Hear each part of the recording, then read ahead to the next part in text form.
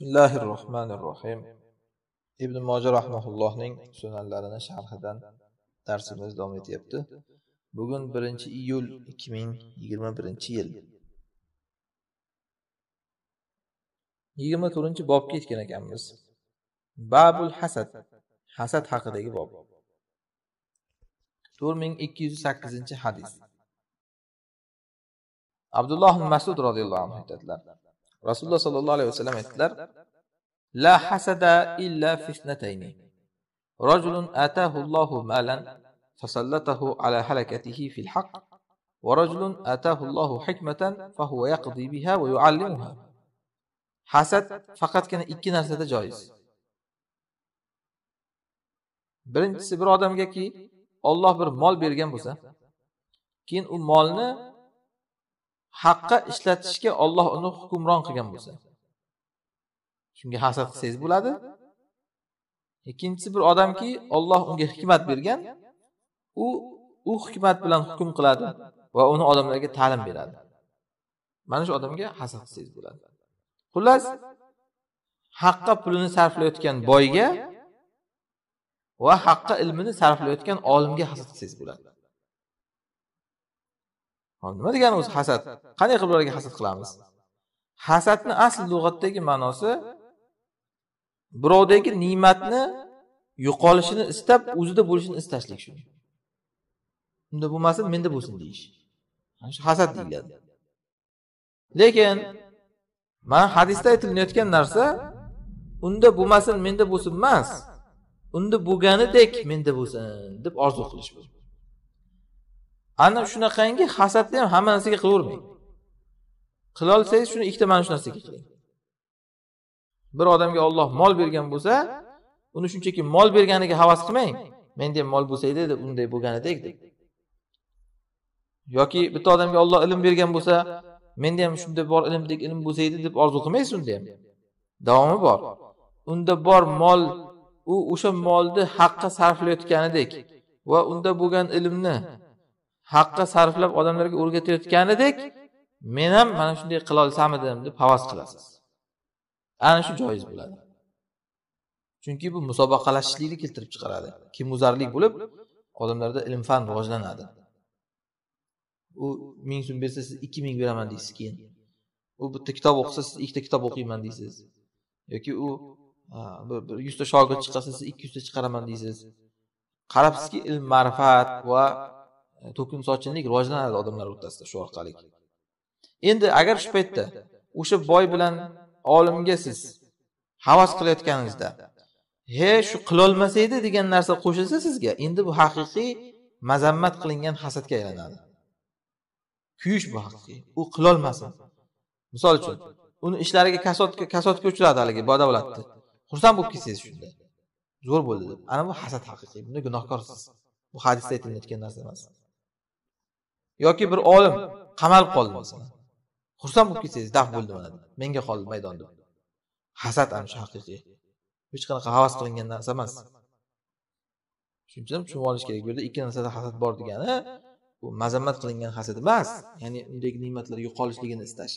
Balki maqtovlik hasad uki musobaqalashish. Unda bo'lganidan ko'proq menda ham bo'lsa edi degan narsa. Ana shu joizligi aytilyapti demak hadisdan chiqadiki shu ikki narsadan boshqalarda boshqalardek bo'lishni hasadni qo'ying havas ham qilmasligingiz kerak. Masalan bitta odamni uyida uyingiz bo'lishini moshinasidaqa moshinangiz bo'lishligini xotinidaqa xotiningiz bo'lishligini va hokazo. Bunaqa narsalar havas qilishga emas havas qilsangiz ana shu ikki narsani havas qiling. To'rt ming ikki yuz to'qqizinchi hadis. Solim otalari ibn umar roziyallohu anhudan rivoyat qiladilar. Rasululloh sollallohu alayhi vasallam aytdilar la hasada illa fitnatayni. Bu o'sha hadis. Ikki narsada hasad bor. Birinchisi bir odamga olloh qur'onni bergan. Ilm deb endi qur'on aytilyapti u uni kechalar asnosida qoyim qiladi va kunduzlar asnosida qoyim qiladi. Kechalar asnosida qoyim qilish tushunarli. Tahajjudlarda o'qib chiqadi. Kunduzlar asnosida qanday qoyim qilinadi? Kunduzlar asnosida unga amal bilan qoyim qilinadi. Uni hukmlarini joriy qilish bilan.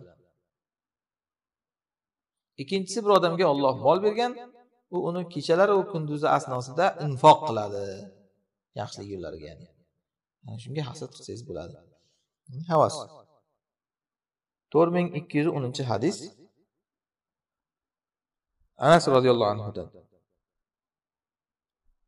Rasululloh sollallohu alayhi vasallam aytdilar الحسد hasadu الحسنات كما kama النار الحطب hataba was-sadaqatu كما يدفئ الماء النار ma'un نور المؤمن والصيام جنة من النار. حسد حسنات minan ييد hasad hasanotlarni yeydi olov o'tinni yeganidek sadaqa xatolarni o'chiradi suv olovni o'chirganidek namoz mo'minning nuridir ro'za esa jahannamdan unga qalqondir. Hasad hasanotlarni yeydi deyilganiga haligi yo'q qiladi ya'ni kuydirib xuddiki olov o'tinni kuydirib yo'q qilganidek. Odam hasad qilganda kuyadiku qarang. Ana shunda sizni o'zi yuragingiz kuymayapti ekan hasanotlaringiz kuyyapti ekan. Kuyganini his qiladiku odam to'g'rimi hasad paytida ana shu hasanotlar kuyyapti degan sadaqa bo'lsa xatolarni o'chiradi. Suv olovni o'chirganidek. Shuning uchun doim odam bitta gunoh qilsa orqasidan sadaqa qilishlikni odat qilish kerak. Uxlamang sadaqa qilmang. Gunoh qilganingizda bu degan gunoh qilib sadaqa qilavering degani emas. Qilib qo'yadi odam iloji yo'q gunohni. Ha endi shunga yarasha orqasidan savobini qilish kerak. Namoz mo'minning nuri bu tushunarli ro'za esa jahannamdan qalqon deyilyapti. Chunki odam ro'za tutib nafsini tiyadi. Buni evaziga olloh uni jahannamdan tiyadi. Olloh uchun nafsini tiyganligi uchun. Yigirma uchinchi bob. Babul bag'yi. Zulm haqida. Birovga ya'ni tajovuz qilish. Chegaradan chiqish. Bag'iyni asli ma'nosi chiqib ketish deganida misol uchun bag'iy deganda e, odatda insonlar birovga javob qaytaraman deb haddan oshib ketishligi ham nazarda tutiladi masalan bir odam sizni urdi. Borsangizda endi siz u odamni shu bir joyiga pichoq tiqib qo'ysangiz masalan ana shu bag'iy deyiladi. Ursa pichoq tiqadi. Ha ursa uradi haqqidan olaman deb juda bo'lsa agar. Yoki uyiga o't qo'yib yuborsangiz bolani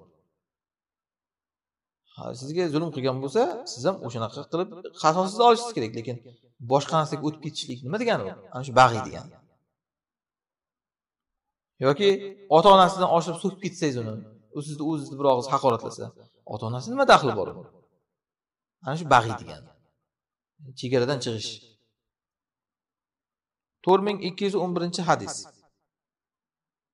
abu bakra roziyallohu anhu aytadilar. Rasululloh sollallohu alayhi vasallam aytdilar ma min zambin ajdaru an yuajjilalloh li sohibihi al-uqubata fi dunya ma'a ma yaddakhiru lahu fil akhirati min al-baghi va qati'atir rahim. Biror gunoh yo'qki Alloh uni kishiga dunyodayoq jazosini tezda berishligiga haqli bo'lgan shu bilan birga oxiratda ham unga jazoni asrab qo'yadigan birovga tajovuz qilish va rahmni uzishchalik gunoh yo'q. Ya'ni birovga tajovuz va rahmni uzish shunaqangi gunoh ekanki tezda olloh uni kishiga dunyodayoq jazosini berar ekan shu bilan birga oxiratda ham olib qo'yar ekan jazoni endi savol tug'iladi. Olloh ikki marta jazo bermaydi deganku biz agar kimiki bir gunohi uchun dunyoda jazosini olsa oxiratda o'sha unga kafforat bo'ladiku to'g'rimi? Nimaga bu yerda unda hozir dunyoda ham kishiga tezda uqubat keladi deyilyapti shu ikkita gunoh sababdan oxiratga ham asrab qo'yadi deyilyapti. Bu tavba qilmasa tavba qilmasa shunaqa bo'ladi. Dunyoda jazosi keladida tavba qilmagandan keyin oxiratda ham jazosi keladi. Lekin tavba qilsa dunyodagi jazosi oxiratdagiga kafforat bo'ladi. Xullas qaysi shu gunohlar ekan? Ana shu birovga tajovuz qilish va siyla rahmni uzish gunohlari. Dunyoda ham jazosi bor oxiratda ham jazosi bor. Keyin dunyoda jazosi bo'lishligini bir siri buni odamlarga ibrat bo'lsin uchun. Chunki hamma narsani jazosi oxiratga olib qo'yilaversa odamlar zolimlarni e, jazo olmayaptiku deb o'zi ham zolim bo'lib ketadi. Buni tasdig'ini tog'utlarda ko'ryapmiz mana. Xalqni yeb odamlarni qamab o'ldirib parokanda qilib ketgandan keyin o'zini ortdan qolgan farzandlarini ahvolini ko'ryapmiz mana tog'utlarda. Shu bag'iy qilgandan keyin jazo dunyoda to'rt ming ikki yuz o'n ikkinchi hadis. Oysha roziyallohu anhu mo'mindan aytadilar rasululloh sollallohu alayhi vasallam aytdilar asroul xoyri savaban al birru vasilatur rahim va asrau sharri uqubatan al bag'yu va qotiyatur rahim. Eng yaxshiligi ya'ni savobi tez yaxshilik eng savobi tez yaxshilik odamlarga yaxshilik qilish va siyla rahm qilish. Eng uqubati tez yomonlik odamlarga tajovuz qilish va siyla rahmni uzish. To'rt ming ikki yuz o'n uchinchi hadis. Abu hurra roziyallohu anhudan rasululloh sollallohu alayhi vasallam aytdilar.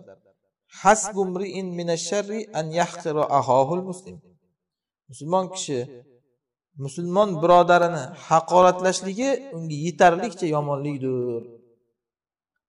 Hozir odamlar men nima qilibman deydiku. Bir musulmonni otasidan olib so'kadi onasidan olib so'kadi haqoratlaydi. Haqir sanaydi uni. E, shu ishing o'zi yetarlicha yomonlik ekan.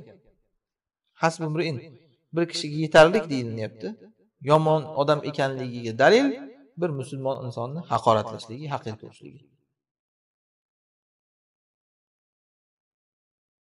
to'rt ming ikki yuz o'n to'rtinchi hadis. Anas ibn molik roziyallohu anhudan. Rasululloh sollallohu alayhi vasallam aytadilar innalloha avha ilayya an tavadau va la yabghi ba'dukum ala ba'd. Olloh menga vahiy qildiki kamtar bo'linglar bir biringlarga biringlar biringlarga tajovuz qilmasin. Ana shuni doim aytyapmiz biz biringlar biringlarga deganinglardan ha u qildiku deb siz ham qilavermang u ahmoq siz ham ahmoq bo'lishsiz bir tomon gapdan qolish kerak.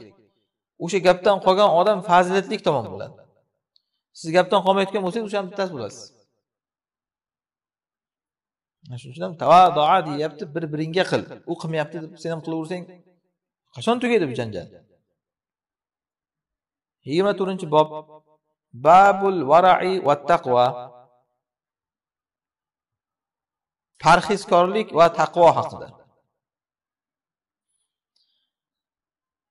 Parhezkorlik deganda bu yerda e, semirmaslik uchun parhez qilish aytilmayapti. Shubhali narsalardan parhez qilish aytilingan. Taqvo tushunarli. O'sha parhezkorlikni bir ko'rinishi ya'ni faqatgina yegulikda emas boshqa narsalarda ham. To'rt ming ikki yuz o'n beshinchi hadis. Atiyat sadiy aytadilar. U kishi payg'ambarimiz sallallohu alayhi vasallam ashoblaridan rasululloh sollallohu alayhi vasallam aytdilar la yablug'ul abdu an yakuna minal muttaqin hatta yada'a ma la ba'sa bih hadran lima bihil ba'su. Kishi taqvodorlardan bo'lolmaydi hattoki yomonligi yo'q narsalarni yomonligi bo'lishidan qo'rqib tark qilmaguncha. Ya'ni inson bir shubhalik narsalarni e, garchi harom bo'lmasada e, shu narsalarni tark qilmasa harom bo'lib qolishidan qo'rqib taqvodor darajasiga yetolmaydi ya'ni haligi qizil chiziqni ustiga borib turib keyin taqvodorman deyishlik hech qachon to'g'ri emas bu narsa. Odam taqvodor bo'lishni istasa o'sha qizil chiziqqa bormasdan taqvodorlik qilish kerak. Nariroqda turib ya'ni. Ho'p xullas hadisda aytilyaptiki kishi yomon emas narsalarni ham tark qilish kerak taqvodor bo'lishni istasa. Yomon bo'lib qolishi mumkinligi uchun shubhani tark qilish kerak ya'ni. Bizda odamlarda bir gap borku sizlarga qolsa hamma narsani harom qilib tashlaysizlar deydi. Taqvodor bo'lmoqchi bo'lsang ana shunaqa bo'lasan. Harom demaysan to'g'ri lekin tark qilasan. to'rt ming ikki yuz o'n oltinchi hadis. Abdulloh ibn amr roziyallohu anhu aytadilar. Rasululloh sollallohu alayhi vasallamga aytilindi odamlarning eng afzali qaysi? Aytdilarki kullu mahmumil qalbi saduqil lisani. Qalu saduqul lisani na'rifuhu فما محموم القلب قال هو التقي النقي لا إثم فيه ولا بغي ولا غل ولا حسد rasulullohga aytildi odamlarda eng afzali qaysi deyilganda qalbi ginadan xoli mahmum odam va tilida esa rostgo'y odam dedilar sahobalar aytishdiki tilida rostgo'y odamni bilamiz ammo qalbi mahmum degani nima degani Aytdilarki qalbi mahmum degani homma arab tilida aslida bo'shlik deganida ya'ni tozalik degani. Rasululloh aytdilarki qalbi mahmum degani uki taqvodor annaqiy qalbi toza odam dedilar. Qalbida bir gunoh yo'q birovga tajovuz ham yo'q g'ilg'ashlik yo'q va hasad yo'q odam. Ana shu odamni eng e, afzal amal odam deyiladi. To'rt ming ikki yuz o'n yettinchi hadis abu hurra roziyallohu anhudan. Rasululloh sollallohu alayhi vasallam aytdilar ya aba hurayra kun varian takun abadan nas va kun qanian takun ashkaron nas va ahibba linnasi ma tuhibbu li nafsika takun mu'mina va ahsin jiwara man jawaraka takun muslima va aqbil ad-dahika va aqil ad-dahika fa inna kasrata ad-dahiki tumitul qalba. Ey abu hurayra taqvodor bo'lgin odamlarning eng obidi bo'lasan. Parhezkor bo'lgin deyaptilar ya'ni. Namoz o'qiverish shart emas parhezkor bo'lishlik uchun. Aksincha odam bekorga o'qiyotgan bo'lishi mumkin shuncha namozlarni agar parhezkor bo'lmasa luqmasiga e'tibor qaratmasa ya'ni. Shuning uchun aytyaptilar sen parhezkor bo'l o'zi odamlarni eng obidi bo'lasan deyaptilar. Va qanoatli bo'lgin odamlarda eng shokir bo'lasan. Xudoga shukur deyish emas shukur qilish qanoatli bo'lish. Ya'ni o'zini odam birovdan kam sanamasligi va o'z nafsingga yaxshi ko'rgan narsalaringni odamlarga ham yaxshi ko'rgin mo'min bo'lasan. Ana shuni aksidan chiqadiki o'ziga ravo ko'rmagan narsani birovlarga ravo ko'rgan odam mo'min emas. Misol uchun insofsizliklar hozir hayotda ko'rasiz. E, bir odam chiqsada uni bir ota onasini so'ksa men qarab o'tiramanmi? Men ham so'kamanda deydida o'zi chiqib odamlar ota onasini so'kib yuradi qarasangiz ha u sen qarab o'tirmas ekansan odamlar qarab o'tirishi kerak endi. Nimaga o'zingga ravo ko'rmagan birovga ravo ko'rasan? Bir odam uni chiqib bir tirnog'ini orasidan kirgizlasada ba'zi ayblarini sharmanda qilib olib chiqib tarqatsa ha odamda endi xato qiladida deydida. Boshqa odamlarni ayb xatosini olib chiqib shunaqa qiladi. U odam emasmi? U xato qilmaydi. Ana shunaqa qilgan odamlarni bilingki mo'min emas bu odam. Mo'min odam kimni bo'lsa ham o'zini o'rniga qo'yib ish qiladi.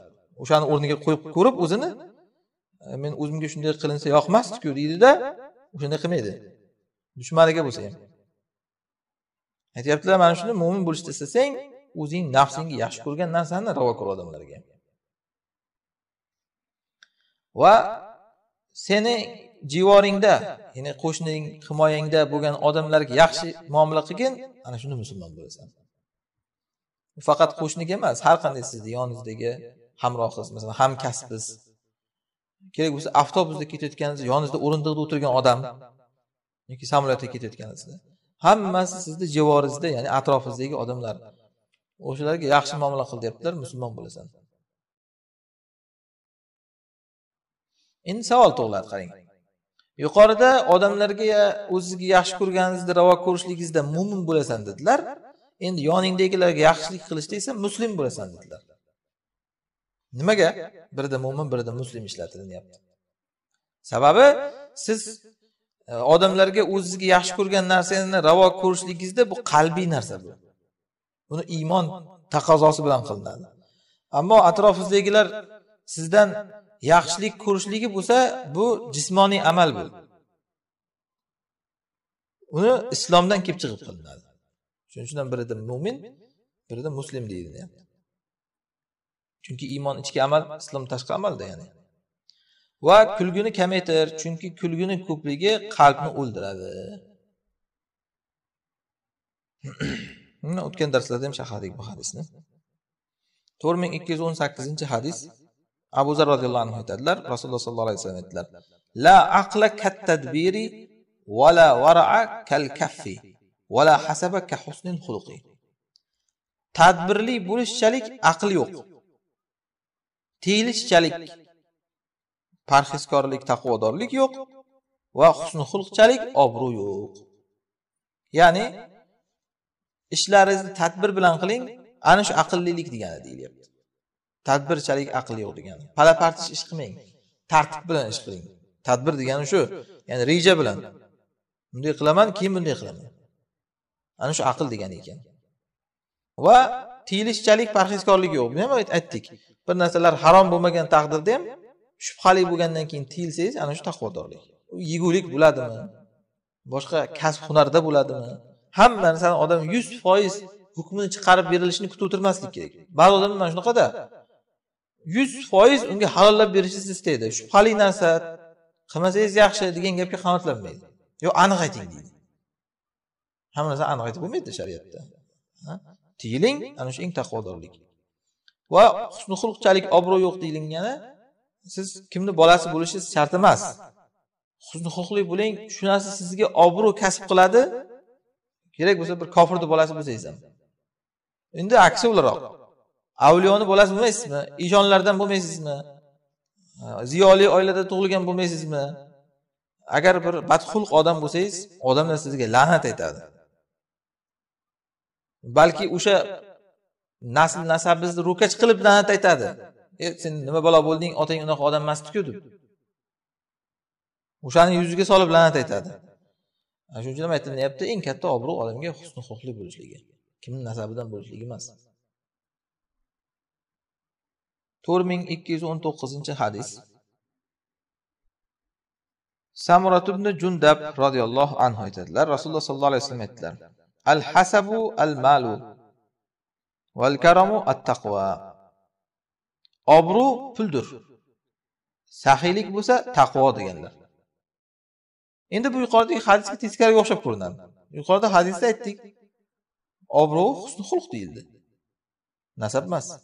Endi bu hadisda aytilyaptiki obro' mol deyilyapti. Birinchi hadisdan maqsad u obro' husni xulq deyilganda uni husni xulq orqali topa olasiz boshqa narsalaringiz yo'q bo'lsa ham degani. Lekin dunyoviy o'lchovlarda odamlar baribir odam puliga qarab muomala qiladi. Ollohni nazdida siz husni xulqingiz bilan afzal bo'laverasiz obro'li bo'laverasiz va sara musulmonlar nazdida husni xulq bilan eng obro'li odam bo'laverasiz. Lekin ommatan xalq ichida odamlar sizni pulingizga qaraydi baribir? Ana shuning uchun nima aytilyapti obro' u pulda. Pul bo'lsa changalda sho'rva deydiku o'zimizda ham shunga o'xshagan gapda bu ham. Hamma narsani topa olasiz shu orqali. Va taqvo bo'lsa karamlilikda deyilyapti yoki karamlilik taqvoda tushunarli inson qanchalik karamlik saxovatli odam bo'lsa shunchalik taqvodor bo'ladi. to'rt ming ikki yuz yigirmanchi hadis. Endi yuqoridagi hadisga qo'shimcha bir boshqa hadis uni sharhi kelgan. Odamlar dunyoda o'zaro o'rtalarida obro' mana shu molda deganlar. Hadis mazmuni. Shu hadisdan olinyaptiki mo'minlar nazdida to'g'ri pulga qarab muomala qilinmaydi lekin ommatan odamlar nazdida. Shu mol bilan muomala qilishadi odamlar. abu zar roziyallohu anhudan to'rt ming ikki yuz yigirmanchi hadis rasululloh sollallohu alayhi vasallam aytdilar inni la arifu kalimatan قال عثمان أي آية لو أخذ الناس كلهم بها لكفتهم قالوا يا رسول الله أية آية قال ومن يتق الله يجعل له مخرجا men bir so'z bilaman dedilar usmon rivoyatida aytadilar bir oyat deganlar yoki yoki bir so'z deganlar zarar yo'q. Agar kimiki agar odamlar shu gapni shu so'zni yoki oyatni olganlarida odamlarga kifoya qiladi shu so'z yoki oyat. Qaysi so'z oyat u ya rasululloh deyishdi? Aytdilar mana bu oyat. Kim ollohga taqvo qilsa olloh unga chiqim beradi. Shu oyatni olganda odamlarga kifoya edi deyaptilar. Ya'ni muammolarni yechimini kim qayerdan izlab yuradiku odamlar? Shu taqvoyni qilganida yechim bularni shu hozirgi zamonda ham shuning uchun aytamiz odamlar muammolarni yechimini o'zlaricha siyosiy suratda tahlil qilib yotishadi hokimlardan ko'rishadi kimdir hokimlar bo'lsa mahkumlardan ko'radi muammolarni yechimini taqvoyni qilsen yo o'sha hokimlaringni olloh tuzatib qo'yadi yoki seni o'shalardan xalos qilib qo'yadi. Ana shu oyat har qanday insonga kifoya. Muammolariga. Shuni bilaylik bu degani kim taqvo qilsa ishi besh bo'lib ketaveradi hayotda sinov ko'rmaydi degani emas. Aksincha eng katta sinov o'sha taqvodorlarga keladi o'zi. Lekin o'sha sinovlarda olloh yechim berib ketaveradi va sinov paytida sizni olloh sobit qiladi. Odam g'amgin bo'lmaydi e, chorasizdek his qilmaydi o'zini. Chiqim bor deb ishonadi odam ko'pchilik noto'g'ri tushunadida mana shu oyatlarni. Hamma ishing besh bo'lib ketaverar ekanda taqvo qilsang deydi. Keyin taqvo qiladi unday bo'lmaydi. Qarasangiz hafsalasi pir bo'lib qolgan bo'ladi keyin. Yigirma beshinchi oyat e, bob. Babu sanail hasan. Chiroyli maqtov aytilinishligi odamga. Bu nimadan dalil? Odam bir odamlarda ya'ni maqtalinishligi odamlarni nazdida. Bu haqiqatdan olloh huzurida maqbul odamniki dalilmi yo'qmi? to'rt ming ikki yuz yigirma birinchi hadis abu bakra ibn abu zuhayr as saqofiy otalaridan rivoyat qiladilar. Rasululloh sollallohu alayhi vasallam bizga xitba qildilar. Nabova yoki banova degan joyda. Shunda aytdilar bu toifdagi joy. Rasululloh aytdilarki yushiku an ta'rifu ahlal jannati min ahli nar. Qalu bima zak ya rasululloh qala bis sana'il hasan. والثناء السيء أنتم شهداء الله بعضكم على بعض sizlar jannat ahlini jahannam ahlidan ajratib bilib qo'yishinglar mumkin deganlar guvohlik berolmaymiz mana odam jannatiy mana odam do'zaxiy deb lekin sezamiz bilib qo'yish mumkin shuni deyaptilar dunyoda yo'q qanday qilib yo rasululloh nima bilan deyishdi sahobalar aytdilarki chiroyli maqtov aytilinishi bilan yoki yomon ayblovlar aytilishligi bilan sizlar bir biringlarga guvoh bo'ladigan ollohning guvohlaridir sizlar deganlar. Demak musulmon ummat bir odamga qarab ana shu odam yaxshi odam desa ana shu odam inshaalloh jannatiy odam. Ummat chunki ollohni guvohlari yer yuzidagi. Endi bir odamga qarab musulmon ummat bu odam yomon odam desa o'sha odam do'zaxiy odam. Chunki o'sha odamlar guvohlik beryapti yer yuzidagi bu odam yomon odamligiga bekorga guvohlik berayotgani yo'q haqiqatdan yomon odam. U odamlar uni do'zaxiy jannatiga qora olgani yo'q hech kimni. Odamlar faqat shunga dalil bo'lyapti shu odamni yaxshi odam yoki yomon odam ekanligiga. Endi bu hadisni olib olib ko'pchilik aldanaveradi hamma o'zini tabaqasidagi odamlar uni olqishlayotganini ko'rib ana siz jannatiysiz deb Э, o'zini jannati deb o'ylab olaveradi. Yoki uning raqibini yomonlayotganiga qarab ana u do'zaxiy deyaveradi muammo nimada? Kimdan eshitilinishi kerak shu maqtov yoki ayblov? Ana shunda. Masalan payg'ambarlar kelgan zamonlarga qarasangiz butun millat bo'lib olib xalqlar payg'ambarlarni yomonlagan. Do'zaxiymi endi payg'ambarlar hech kim unaqa demaydiku to'g'rimi? Va rasululloh sollallohu alayhi vasallam aytganlar islom g'arib deganlar g'aribga qaytadi hali yana deganlar. Demak bundan dalil chiqadiki g'urbat zamonida hamma mo'minlarni yomon ko'raveradi yomonlayveradi bu do'zaxiy degani emas o'sha do'zaxiylar jannatiyni yomonlaydi. Buning uchun mana shuni sharhida hanafiy olimlardan dihlaviy rahmaulloh injahil haja kitobida aytganlar mana qarang. Bu kim? Hadisda aytilayotgan guvohlik beradiganlar. Al mu'minin al mu'minuna solihun allazina hum ahlu shahadati إذا أثنوا على رجل خيرا يجب له الجنة وكذلك بالعكس. كما في رواية الشيخين عن أنس رضي الله عنه. مر بجنازة فأثنوا عليه خيرا فقال صلى الله عليه وسلم وجبت ثم مروا بأخرى فأثنوا عليه شرا فقال وجبت.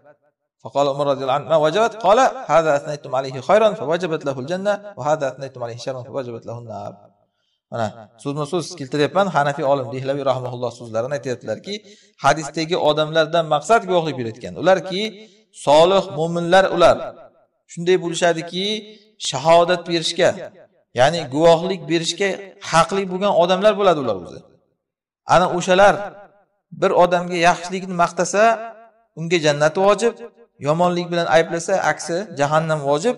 Bunga shayhayndagi buxoriy muslimdagi anasdan kelgan hadis ham dalil bo'ladi. Bir janoza o'tib qolgan. Rasululloh sollallohu alayhi vasallam ashob bilan o'tirganlarida.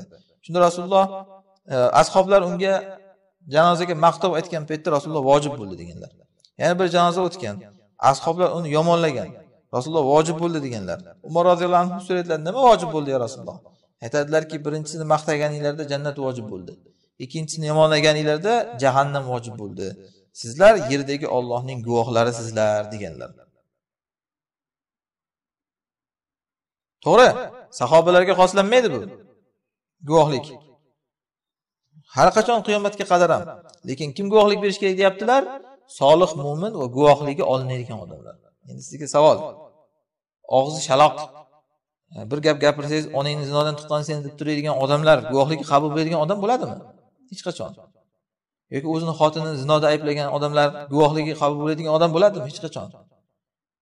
U odamlarni va ularni atrofidagi odamlarni maqtagani bilan hech qachon bir odam uchun yaxshi odamligi chiqmaydi. Bugungi kunda ana shunaqa odamlar maqtoviga aldanib yurgan odamlar qarasangiz aksar uni maqtayotganlar benamozlar johillar alik kaltak deb yurgan odamlar tinch o'tirsa bo'ldi bo'lgan shu o'zini shu dunyoda topib o'rnini topgan shu o'rnini yo'qotishni istamaydi iymonni evaziga bo'lsa ham. Ana shunaqangi bir fahsh odamlar maqtab yuribdi.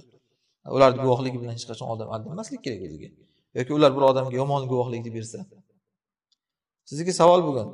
Bir odamlarni yomon yoki yaxshiligini kuzatmoqchi bo'lsangiz mana shu ijtimoiy tarmoqlardami yoki hayotdami sara odamlar bor o'zi mana hijratga yurgan dinini tanib chiqqan haq nima botil nimaligini bilgan. O'sha odamlarni guvohligini qarang sizga ko'rsatib qo'yishadi. Kim jannatda kim do'zaxiyligini. Hatto buni ijtimoiy tarmoqlarda ham ko'rsatib qo'ysa bo'ladi hayotda ham ko'rsatib qo'ysa bo'ladi. Hech kim qasddan e, kafil bo'lib ayta olmaydi to'g'ri falon jannatiy do'zaxiy lekin ishora bor o'shanda.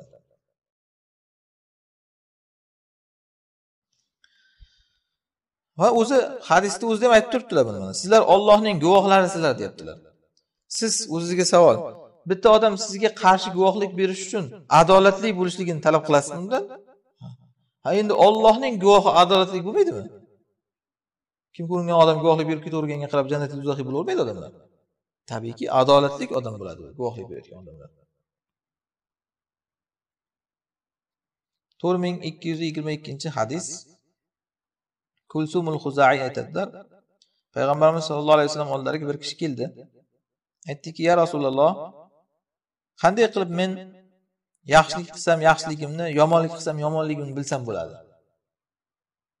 rasululloh sollallohu alayhi vasallam aytdilarki إذا قال جيرانك قد أحسنت فقد أحسنت وإذا قالوا إنك قد أسأت فقد أسأت agar qo'ni qo'shnilaring senga qarab yaxshilik qilyapsan sen deyilsa yaxshilik qilibsan agar ular senga qarab sen yomonlik qilyapsan deyishsa yomonlik qilibsan deganlar bu yerda ham maqsad o'sha qo'ni qo'shnilardan mo'min musulmon odamlar faqatgina qo'ni qo'shni emas sizni atrofingizdagilar sizni qo'shib yurgan odamlaringiz sizga qarab yaxshilik qilyapsiz deyishsa o'sha mo'min musulmon haq nima botil nimaligini bilgan odamlar. Demak yaxshilik qilyapsiz. Yomonlik qilyapsiz deyishsa demak yomonlik qilyapsiz. Odamlar guvohligi bilan bilsa bo'ladi odam kimligini. To'rt ming ikki yuz yigirma uchinchi hadis. Abdulloh roziyallohu anhudan ibn masud yana aytadilar. Bir odam rasululloh sollallohu alayhi vasallamga aytdi. Kayfali an a'lama ida ahsantu ida asatu o'sha hadis ekan. Qanday qilib men yaxshilik qilsam yomonlik qilsam bilsam bo'ladi? dedilar. Payg'ambarimiz sallallohu alayhi vasallam aytdilarki agar qo'shnilaringni eshitsang ular seni yaxshilik qilding deyayotgan bo'lsa yaxshilik qilibsan. Agar ularni eshitsang yomonlik qilding deyishayotgan bo'lsa yomonlik qilibsan. To'rt ming ikki yuz yigirma to'rtinchi hadis ibn abbos roziyallohu anhudan rasululloh sollallohu alayhi vasallam aytdilar.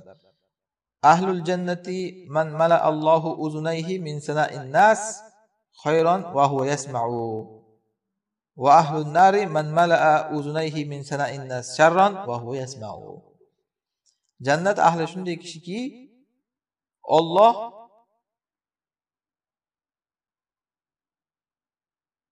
uning qulog'ini odamlarning maqtovidan yaxshilikka to'ldirgan bo'ladi u esa eshitib turadi. Va jahannam ahli shunday kishiki u qulog'ini odamlar yomonligidan to'ldirilgan u esa uni eshitib turadi. Shuda mala alloh debdi shuni. Mala allohu bo'lishi kerak. Adashmasam hozir ko'ramiz shuni. Hop boshqa kitoblarda ham mala alloha deyilyapti demak ma'noga qarasa mala allohu tushadi. Maqsad tushunarli hadisdan jannat ahli shunday kishiki uning qulog'i odamlarni yaxshiligi bilan yaxshi uni maqtashligi bilan to'ldirilgan bo'ladi u esa eshitib turadi. Va jahannam ahli esa uning qulog'i odamlar uni yomonlashligi bilan to'lib turadi u ham eshitib turadi. Bu ham o'sha yuqoridagi hadis ma'nosidada ya'ni jannat ahli dunyodayoq o'zi odamlarni olqish bilan o'tadi degani odamlardan maqsad bu yerda yuqorida aytilgandek mo'min musulmon odamlar. Olloh uni qulog'ini to'ldirib qo'yadi mo'min musulmonlarni maqtovi bilan. Jahannam ahli ham xuddi shunday mo'min musulmonlarni la'natlashligi qarg'ashligi bilan olloh uni qulog'ini to'ldirib qo'yadi. Qulog'ini to'ldiradi degani qayerda bo'lsa eshitib yuradi. Kimdir uni so'kkan kimdir haqoratlagan ana shunaqa gap. Musulmonlar uni so'kib haqoratlayotganligida ya'ni posiqlar emas. Aks holda aytdikku payg'ambarlarni ham so'kib yurishgan lekin posiqlar kofirlar so'kib yurgan ikkalasi ham xullas eshitar ekan o'zini jannatiyligini inson. Mo'min odam ham kofir odam ham. Jannatiyligini ham do'zaxiyligini ham.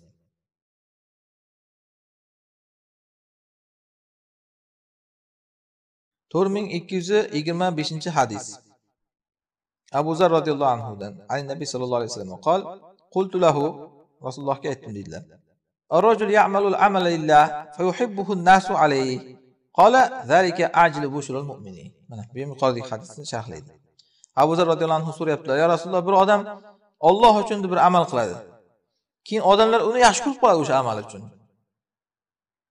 tabiiyki maqtashadi ya'ni endi shunda odam xursand bo'ladiku baribir kim xursand bo'lmaydi Siz masalan olloh uchun bir amal qilsangiz odamlar sizni keyin bilib qoldida shu amalingizni maqtab yuribdi. tabiiy xursand bo'lasiz. Hech kim yo men xursand bo'lmadim deyolmaydi. Shunda nima bo'ladi? Ana shuni hukmi bu riyo bo'lib qoladimi bu? deganlarda rasululloh aytganlarki bu mo'minga tezda shu dunyodayoq berilingan xushxabar deganlar. Ya'ni yuqorida aytilgandek olloh uni qulog'ini maqtov bilan to'ldiryapti. Mo'min musulmonlarning maqtovi bilan. Haq ahlini maqtovi bilan to'ldiradi qulog'ini bu xushxabar unga inshaalloh qiyomatda ham qulog'i yaxshiliklarni eshitishligiga. Ana shuni aytilyapti bu mo'minni dunyodagi xushxabari. Demak siz shu paytda o'zidan ketib qolmasangiz bo'ldi. Mana meni odamlar maqtayapti deb qalbingizdan ujub kirib endi ujub boshqa xursandlik boshqa. Xursandlik shunchaki alhamdulillah yaxshilik qilyapmiz ekan deb qo'yishingiz ujub bo'lsa odam o'zini boshqacha odam deb o'ylab shunaqa paytda e, o'zidan ketib qolishligi ya'ni. Ana o'sha yomon endi. To'rt ming ikki yuz yigirma oltinchi hadis. Abu hurra roziyallohu anhudan bir odam aytdi yo rasululloh men bir amal qilaman. Keyin odamlar uni bilib qoladida meni e, menga keyin yoqadi shuni odamlar bilib qolganligi yoqadidan maqsad e, haligi odamlar maqtagandan keyin yoqadi demoqchilar. Biz doim aytamizki sahobalar e, bu bo'lganidek ko'ringan bir mard odamlar bo'lgan. Aybi bo'lsa aybini o'zlari aytgan qarang mana. Hozir hozir zamonda ko'pchilikka teggan kasal o'zini haqiqatini tan olmaydi. Sahobalarni qarang tan olyapti yoqadi deyapti yoqadida yoqadi yoqqanda yoqadi deyish kerak. Ko'pchilik tan olmaydi ana shu narsani. Yo menga bir tiyin odamlar maqtov deb gapiradi. Holbuki qarasangiz ichidan o'lib turadi odamlar uni maqtashiga. Lekin tilida bir tiyin menga deb qo'yadi. Sahobalar tan olyapti menga yoqadi deyapti rasululloh aytdilarki laka ajron ajru sirri va ajrul alaniya senga ikkita ajr bor unda deganlar. Odamlar bilib qolgandan keyin amalingnida ya'ni. Birinchisi sir qilib qilgan ajring bor. Ikkinchisi oshkora qilganligingning ajri bor. O'zi qilmadida oshkorani chunki o'zi bilinib qoldi amal. Ho'p savol oshkorada nima ajr bor? Oshkoradagi ajr odamlar sizga ergashishligi. Sirdagi ajr tushunarli ixlos. Oshkoradagi ajri odamlarga qudva bo'lishingiz o'rnak bo'lishligingiz ya'ni. Kimdir sizga qilganingizga qarab u ham bir nimalar qilsa siz sababchi bo'lasizda o'shanga. Yigirma oltinchi bob babu niya niyat haqida. Ya'ni har bir amalni niyat bilan qilish kerak. Bu narsani mojani boshida ham sharhlaganmiz boshqa kitoblarda ham o'sha mashhur hadisni keltiryaptilar amal bin niyat hadisini. To'rt ming ikki yuz yigirma yettinchi hadis umar ibn xattob roziyallohu anhudan. Rasululloh sollallohu alayhi vasallam aytayotganlarini eshitganman. Amallar niyat bilan. Har bir kishiga nima niyat qilgan bo'lsa o'sha bor. Hatto dunyoda shunchadan mana kimiki odamlarni olqishni niyat qilib faoliyat olib borsa odamlar olqishni oladi odam. Xuddiku ham kim eshitishni istasa odamlar olloh eshittirib qo'yadi degan. Ko'rishni istasa olloh ko'rsatib qo'yadi. Har bir kishiga nima niyat qilgan bo'lsa o'sha niyati bor. Shuning uchun ham siz ham bilib oling. Oxiratni niyat qilib kirdingizmi amalingizga dunyoda olqishlarni odatda kutmang. Olloh o'zi fazilat tarzida mana ba'zi amallaringizni fosh qilib sizni maqtovlarga sazovor qilib qo'yishligi mumkin. Lekin siz oxiratni istab kirganingizdan keyin maqtovni oxiratda olishni kutishingiz kerak. Niyati shunaqa ediku axir? Har bir kishiga nima niyat qilgan bo'lsa ana shu bo'ladi. Kimning hijrati ollohga va rasuliga bo'lgan bo'lsa hijrati olloh va rasuliga. Alloh rasuli o'zini biladi va mukofotini beradi olloh kimniki hijrati dunyoga erishish uchun yoki bir xotinga uylanish uchun bo'lgan bo'lsa hijrati o'sha hijrat qilgan narsasiga. Haqir hijrat bu ya'ni shuning uchun ham o'sha narsasiga deb qo'yilgan. Erishadi o'shalarga ham xullas amalda niyatni to'g'irlab qilish kerakligiga targ'ib bu yani. Ho'p shu yerda to'xtasak bo'lar ekan bob davom etadi hali. To'rt ming ikki yuz yigirma sakkizinchi hadisda to'xtayapmiz inshaalloh. Keyingi darsda shundan davom ettiramiz. Allohu alam.